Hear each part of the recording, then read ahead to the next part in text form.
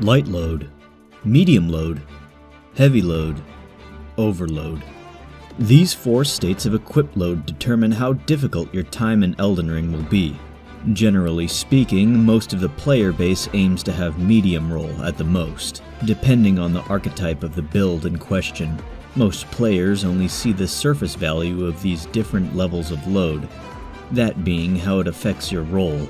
What if I told you it also affects backsteps? And before you ask, no, it doesn't give invincibility on backsteps. It does, however, change the cancel windows of backstep into attack and Ash of War. There's quite a bit of variation for all of these values, so uh, buckle up. Displayed here is a visualization of the cancel windows of backstep into Ash of War. Take a look.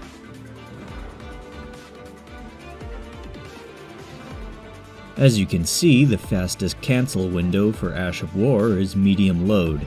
Following closely behind is light load, and slowly making its way up to speed is heavy load.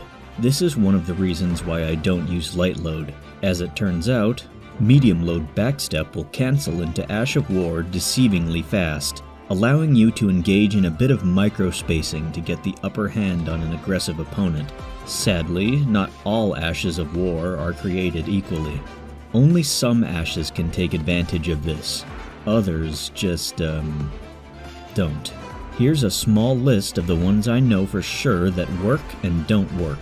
The list is incomplete because there are just too many Ashes of War to test, and not enough time in my pathetically limited schedule to try all of them, which is why I encourage you to experiment.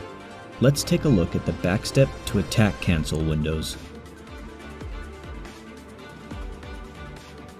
Medium load reaches the finish line first, once again, but to my surprise, heavy load beats light load by a total of 6 frames. While 6 frames might seem insignificant, that can often decide the difference between you being struck during or before your hyper armor activates, i.e., the difference of your attack being interrupted or not. Light load seems to have been designed to limit the lengths by which you can mix up your timings for melee attacks. However, using light load transforms your roll into one of the most atrocious, man-made horrors in the entire game. Imagine Bloodhound Step, except it doesn't cost any FP. It works especially well for any build that specializes in zoning, be it bow or spell, Trying to close the distance against somebody using light roll to zone will be incredibly difficult. Blah blah blah. You all know about light roll. Medium load seems to strike a balance between offense and defense, granting you more ways to mix up your zoning and rush down potential. Medium load trades the roll distance of light load for quicker cancels for backstep into Ash of War and attack. Perfectly balanced, as all things should be. Heavy load on paper seems kinda trashy, having worse cancel windows into attack and Ash of War compared to its brethren, while also suffering from the highly exploitable clumsy dodge roll that is granted once you equip too much. Oh, and your stamina regeneration is also zapped to hell, so have fun with that. Despite its shortcomings, Heavy Roll has a highly abusable feature, you can cancel your backstep into guard at any frame of your choosing, given your hands are fast enough, your IRL hands. This technique can only be executed with a weapon that is wielded over the shoulder. Watch this video for a more detailed explanation of this technique. This essentially negates the previous numbers stated about its cancel windows. Its backstep cancel windows into literally anything, or whatever you want it to be.